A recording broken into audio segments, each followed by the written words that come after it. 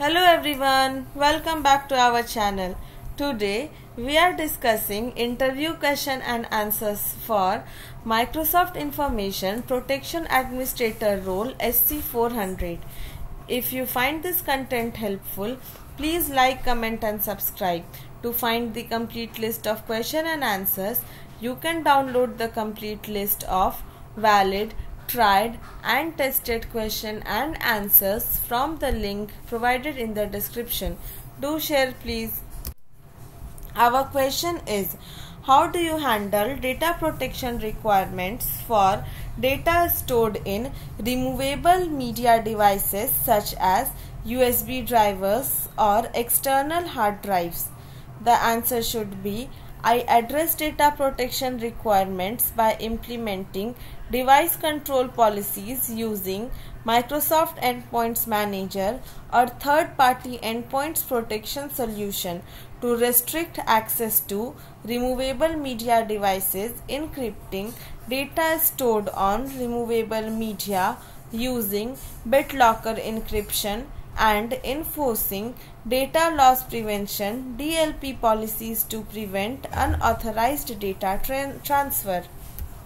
Our next question is Can you discuss your experience with conducting data classification assessments and developing classification schemes for organizing and protecting sensitive information? The answer should be I experience conducting data classification assessment using tools such as Microsoft Information Protection Scanner or Azure Purview to identify sensitive data, developing classification scheme based on data types, regulatory requirements and business impact and applying sensitivity labels to categorize and protect sensitive information. Our next question is How do you handle data protection requirements for data shared via Microsoft SharePoint online sites and document libraries, especially concerning collaboration with external users?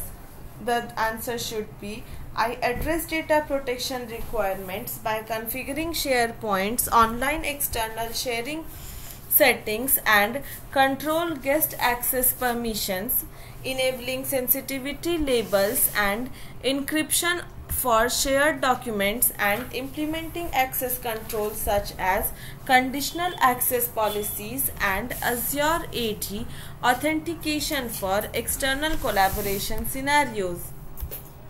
Our next question is what measures do you take to ensure data protection controls are maintained during the software development life cycle SDLC for custom applications and solutions integrating with Microsoft 365? The answer should be I ensure data protection controls are maintained during the SDLC by incorporating security requirements into application design and development processes, conducting security reviews and code analysis to identify vulnerabilities and implementing secure coding practices and security testing methodologies methodologies to mitigate risks. Our next question is how do you handle data protection requirements for data stored in Microsoft 365 backup and recovery solutions, especially concerning data retention and encryption? The answer should be I address data protection requirements for backup and recovery solutions by configuring data retention policies for backup data, enabling encryption at rest and transit for backup storage and implementing access controls and auditing mechanism to protect backup copies of sensitive information. Our next question is can you discuss your experience with configuring data loss prevention, DLP policies and Microsoft Teams to prevent the unauthorized sharing of sensitive information in chat messages and files?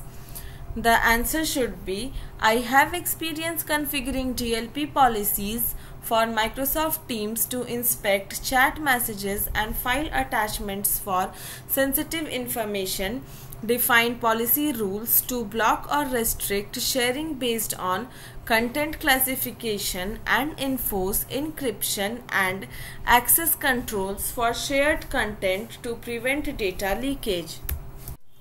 Our next question is what strategies do you employ to ensure the data protection measures are effectively communicated and understood by users within an organization? The answer should be I employ strategies such as user training and awareness programs providing clear guidance and documentation on data protection policies and procedures conducting regular communications and updates on security based practices and soliciting feedback from users to address concerns and improve adoption. If you are preparing for any Microsoft based certification, you can download the complete list of valid, tried and tested question and answers from the link provided in the description. Wishing you all the very best. Thank you.